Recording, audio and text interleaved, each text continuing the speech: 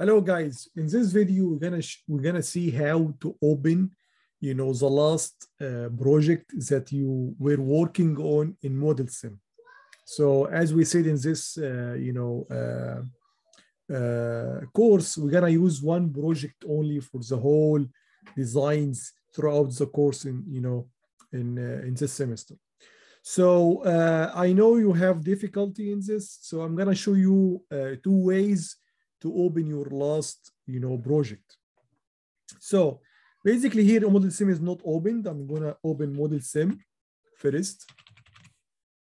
So here is the shortcut for it.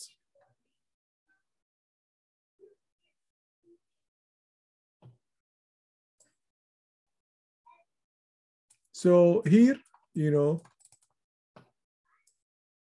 this window should appear to you, the jump start window. The jump start window, if you click here on jump start, will take you to the last project that you're working on.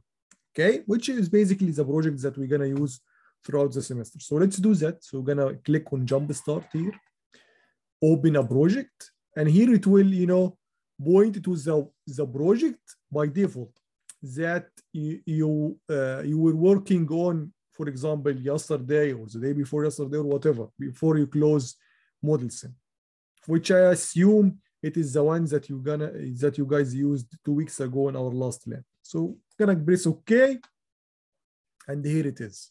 If you open anything here, like this file, for example, so here is you know uh, all you know the you should find here all the project or the designs that you did. Okay, let's assume that you don't have the jump start window. That's the, the window that appeared to, to us, you know, and we want to still open this, you know, project. So I'm gonna close the project right now. So I'm gonna, I, I now uh, closing the. It's, it's already closed. So, so open. We wanna open our project. Usually this will take you to the, you know, by default to the, again, to the workspace or the folder in which you store your project. Our project file is, uh, is something.mpf. So here is, I'm gonna choose mpf files and here it is. You should see only one. And as we said in the first lab, uh, we should call our project, you know, your name, then work.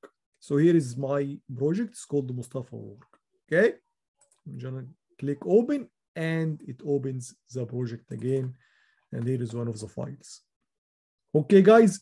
Now let's assume you want to create a new design. So you come here in this window, add to project, new file. You choose a name for it, like new design or whatever. Let's say, you know, call it February, you know, 27. Okay. And search for it, new design. It's called new design. Yes, this guy. And you write here whatever uh, you like.